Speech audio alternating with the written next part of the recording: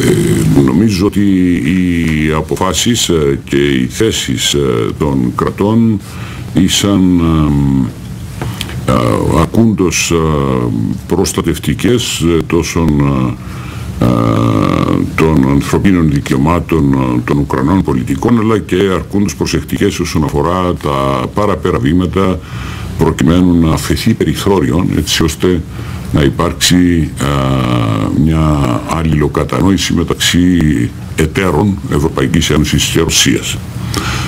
Αυτό που θέλω να διαβεβαιώσω είναι ότι από δικής μας πλευράς θα πράξουμε ό,τι είναι δυνατόν για να προστατεύσουμε βεβαίως τα δικαιώματα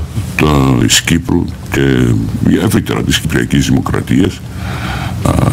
έτσι ώστε να αποφευχθούν οι όποιες άλλες συνέπειες στην οικονομία του τόπου η οποία έχει πληγεί σημαντικά μέσα από την οικονομική κρίση που περνά. Και τα θέματα ενέργειας βεβαίως έχουν συζητηθεί, είναι μία από τις προτεραιότητες και σήμερα επιβεβαιώθηκε. Ο γεωστρατηγικός ρόλος της περιοχής και όπως αντιλαμβάνεστε, μεταξύ άλλων και η αναβαθμισμένη θέση α, και ο γεωστρατηγικός ρόλος που μπορεί η Κύπρος να διαδραματίσει, λαμβάνοντας ιδιαίτερα υπόψη τις άριστες σχέσεις που διατηρεί τόσο α, με τον Ισραήλ όσο και τους Άραβες γείτονες μας σε παρεμβάσεις μου τόσο για το θέμα ενέργειας όσο και για το θέμα της ανεργίας και της ανταγωνιστικότητας ε, επεσήμανα στην πρώτη περίπτωση ε, το πόσο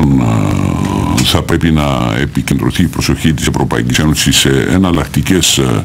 πηγές προμήθειας και στους νέους διαδρόμους ε, προμηθείας ε, ενέργειας της Ευρωπαϊκής Ένωσης. Ενώ όσον αφορά τα θέματα της ανάπτυξης και της uh, δημιουργίας νέων θέσεων εργασίας θα πρέπει να πω ότι uh, αυτό που δήλωσα είναι η πλήρης ταύτιση με τις πολιτικές που έχουν υιοθετηθεί στο πενταετές σχέδιο uh, το, στο στρατηγικό, με συγχωρείτε, πενταετές σχέδιο της Ευρωπαϊκής Ένωσης.